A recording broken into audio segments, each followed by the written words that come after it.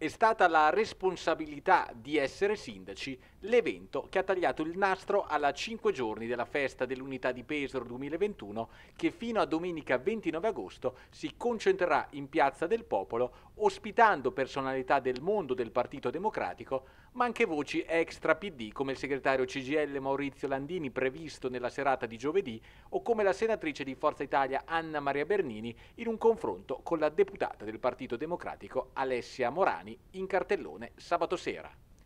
Primi microfoni dunque accesi su chi ha vissuto sulla sua pelle gli estremismi delle difficoltà di essere sindaco, fino a spiacevoli dispute processuali, come Maurizio Mangialardi, oppure esperienze scomode coi propri concittadini come Giuseppe Paolini a Isola del Piano e Mauro Dini a Lunano e chi addirittura ha finito per scontare una pena di custodia cautelare come l'ex sindaco di Lodi Simone Uggetti. L'ex presidente della Regione Marche Luca Ceriscioli assieme all'eurodeputata Simona Bonafè ha completato la serata inaugurale allargando il tiro sulle possibilità di ripresa attraverso i fondi europei. Una prima giornata in cui una fetta di cittadini fedeli a una certa inclinazione politica ha cominciato a riappropriarsi di una frequentazione abituale dell'estate pesarese. Una festa che si adegua al periodo, tutti i frequentatori devono infatti esibire il Green Pass per accedere ai dibattiti, alcuni ne hanno anche approfittato per firmare il referendum per l'eutanasia legale con il banchetto affiancato al perimetro della festa.